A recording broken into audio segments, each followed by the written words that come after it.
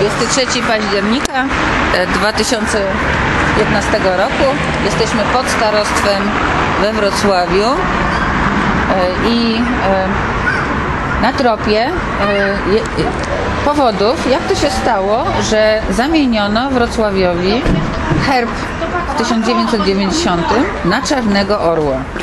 Proszę Państwa, od 1948 po wojnie do 1990 y, powiat wrocławski miał zupełnie inny herb.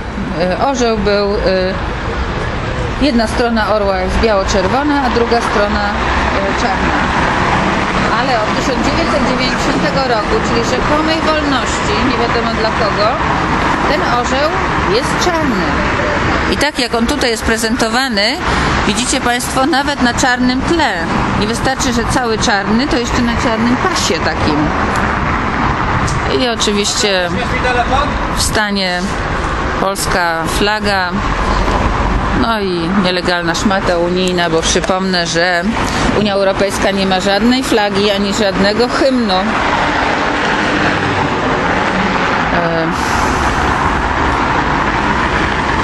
Przykry, przykry to jest widok. I ci urzędnicy, starosta powiatu wrocławskiego i ci setki urzędników, wielki budynek na Kościuszki 131 we Wrocławiu, pracujący tutaj, codziennie wchodzą do tego budynku i wychodzą. Może tylnymi drzwiami, ale mieszkańcy powiatu wrocławskiego tymi drzwiami wchodzą do tego budynku. Widok jest straszny.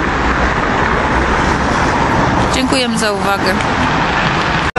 W stanie polska flaga, no i nielegalna szmata unijna, bo przypomnę, że Unia Europejska nie ma żadnej flagi ani żadnego hymnu.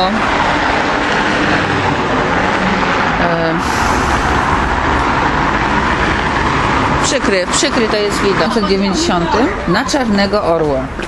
Proszę Państwa, od 1948 po wojnie do 1990 y, powiat wrocławski miał zupełnie inny herb. Y, Orzeł był, y, jedna strona orła jest biało-czerwona, a druga strona y, czarna.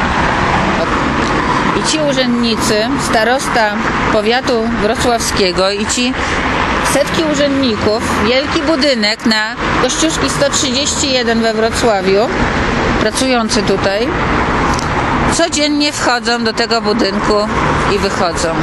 23 października e, 2015 roku. Jesteśmy pod starostwem we Wrocławiu e, i e, na tropie e, powodów, jak to się stało, że zamieniono Wrocławiowi herb w 1900, ale od 1990 roku, czyli rzekomej wolności, nie wiadomo dla kogo, ten orzeł jest czarny. I tak jak on tutaj jest prezentowany, widzicie Państwo nawet na czarnym tle. Nie wystarczy, że cały czarny, to jeszcze na czarnym pasie takim. I oczywiście